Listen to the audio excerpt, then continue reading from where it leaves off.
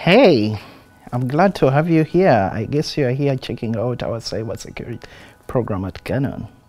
Yes, this is uh, Dr. Richard Matovu, and I'm an assistant professor at Gannon University.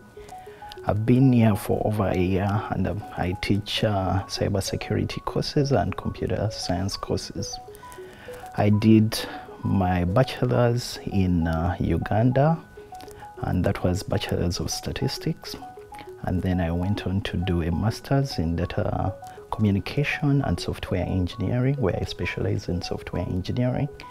And then that's when I moved to the US and I did my PhD in computer science, specializing in cybersecurity and machine learning, which I did at Texas Tech.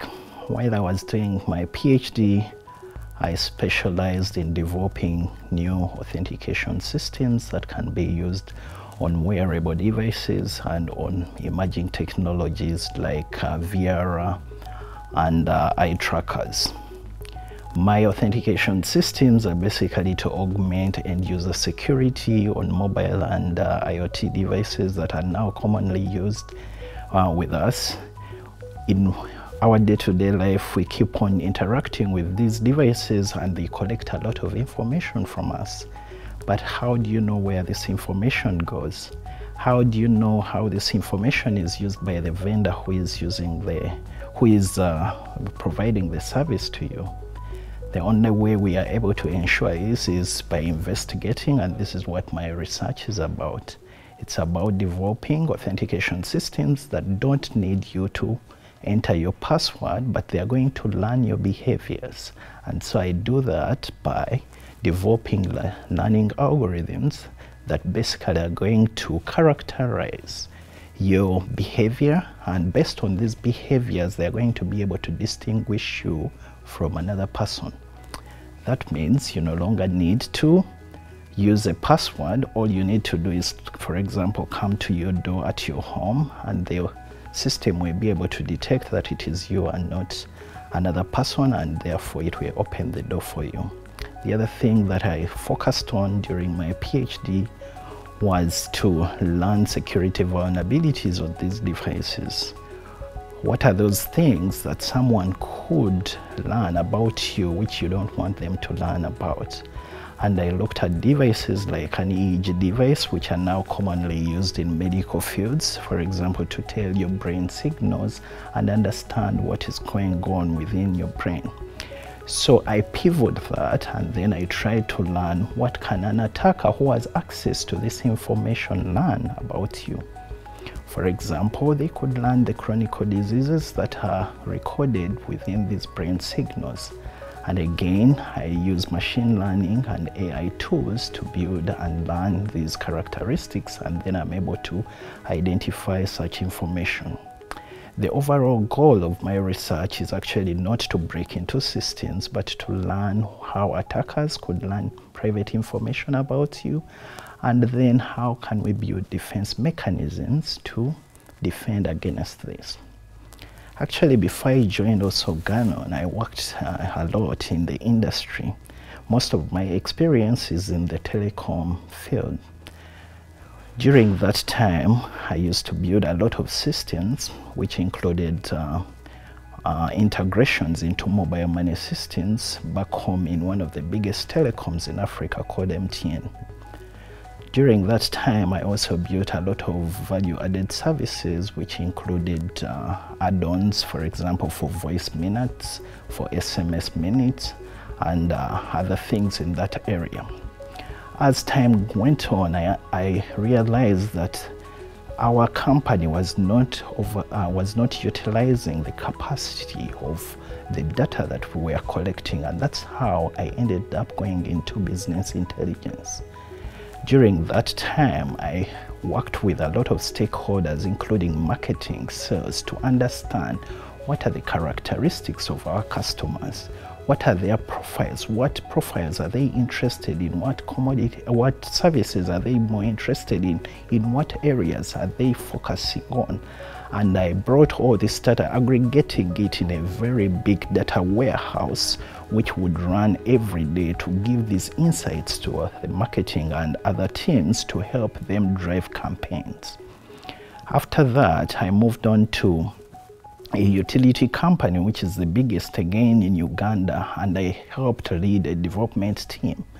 During that time, I looked at business processes that were not efficient and then helped these, I helped these uh, streamline these business processes by identifying where there are gaps or the red tape and trying to uh, streamline that so that the processes were more efficient.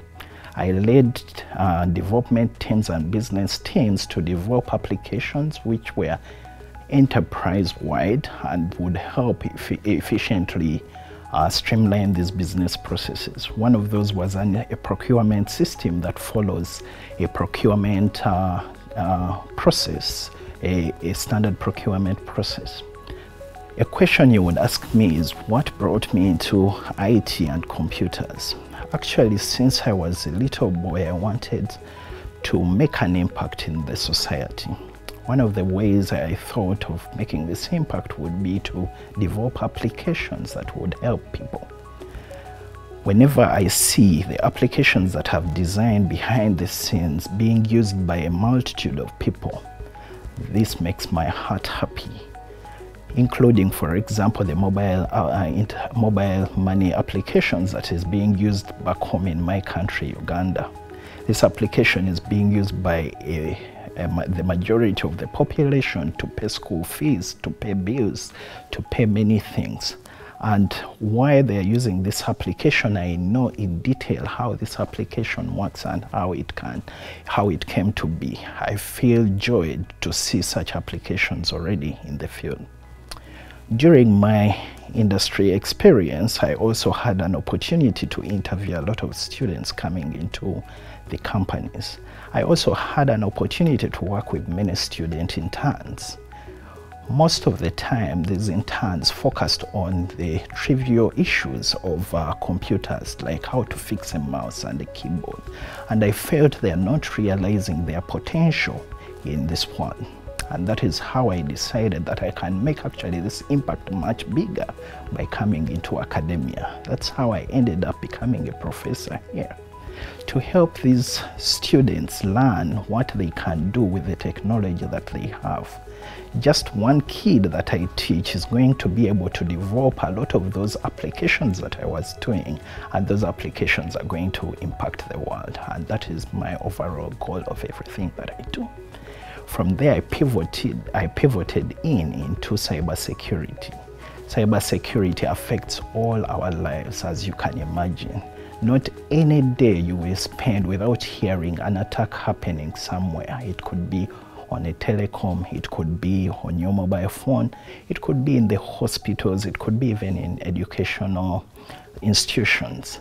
All our lives are affected on an individual level and as well as on the global level and as well as on the organization level. The simple things that you do, for example, your password could let, let in an attacker into your corporate environment and the attacker could, for example, launch a ransomware attack on your infrastructure.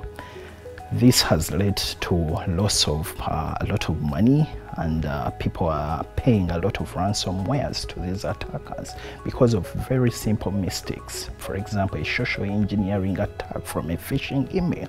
You could just click on that and then it's going to lead into an attacker learning the password and after it's going to elevate the privileges to capture all your, the network of the, of the company and from there is going then to ask for a ransomware.